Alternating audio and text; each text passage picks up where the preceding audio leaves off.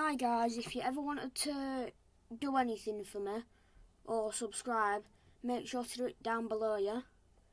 You know what to do. Let's try and hopefully get to at least 100 subscribers. That's at least my dream. Come on, please help me get there.